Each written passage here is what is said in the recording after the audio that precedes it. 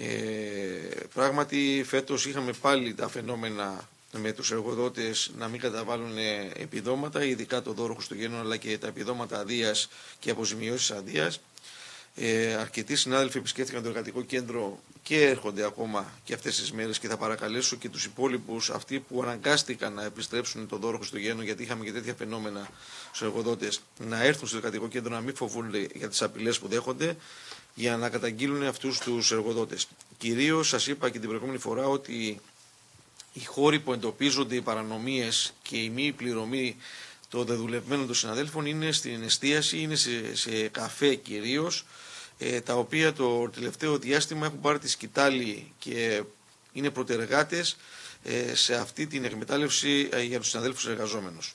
Ήδη σας λέω ότι είχαμε 6-7 περιπτώσεις μη καταβολής δώρων και είχαμε και γύρω στις 10 περιπτώσεις μετά την απόλυση και τη λήξη της σύμβασης των συναδέλφων της μη καταβολής των επιδομάτων αδείας και τις ημέρες άδεια, το οποίο προβλέπει ο νόμος ότι αν δεν τις πάρει ο εργαζόμενος πρέπει να τις πληρωθεί.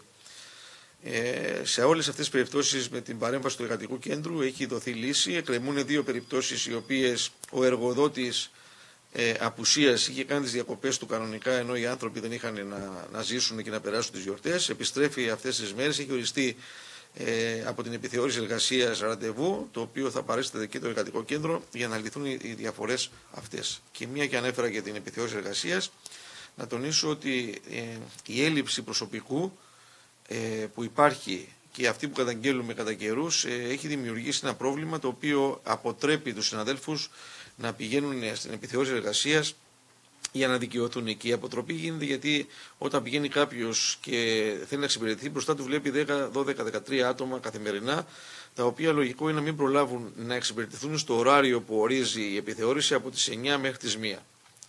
Ε, θα ξανακάνουμε άλλη μια παρέμβαση εμείς στο Γενικό Γραμματέα του ΣΕΠΕ να τον ενημερώσουμε για την κατάσταση που υπάρχει στην περιοχή και βέβαια ε, η ατζέντα του εργατικού κέντρου δεν κλείνει με την παρέμβαση αυτή. Συνεχίζουμε να πιέζουμε για τη δημιουργία τεχνικής επιθεώρησης γιατί και εσείς θα διαπιστώσετε ότι η, αυτή τη στιγμή που μιλάμε η Ρόδος και είναι ευχάριστο αυτό που λέμε είναι ένα εργοτάξιο.